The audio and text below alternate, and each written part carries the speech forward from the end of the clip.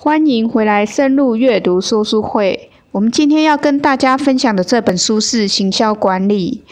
在前面的第五章节中，针对消费品市场，作者分享了行销人员如何培育顾客关系、建立顾客价值和顾客忠诚度。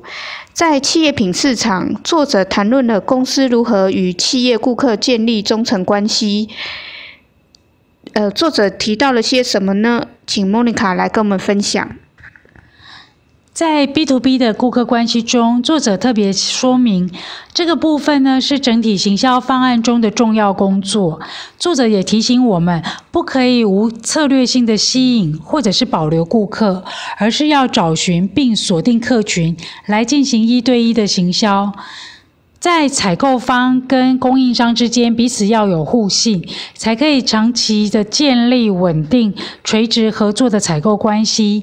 至于如何建立互信，大家可以参考第两百三十三页的内容。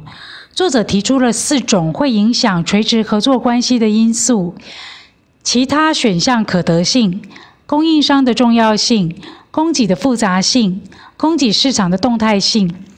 这四项因素构成了八种采购关系。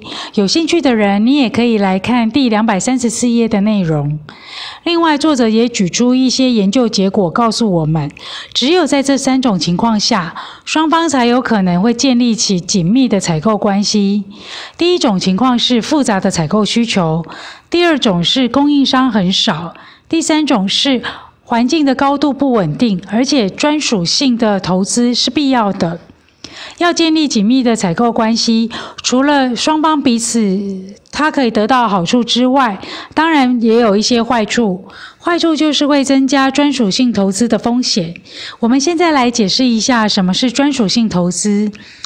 这个部分就是公司对于特定的价值链，一呃特定的价值链伙伴。量身定做时，它所必须要支出的成本，目的是在于提高本公司的获利以及达成目标的定位。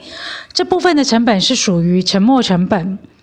另外，对于供应商来说，可能会投入太多专属性的资产以及技术；对于采购方来说，这有可能会造成被某一个特定的供应商给绑住了。作者在第六章第七更正。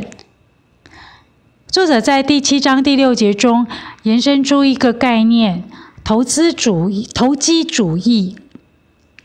供应商或者是采购方的投机主义会增加资源控制与以及资源监视的成本。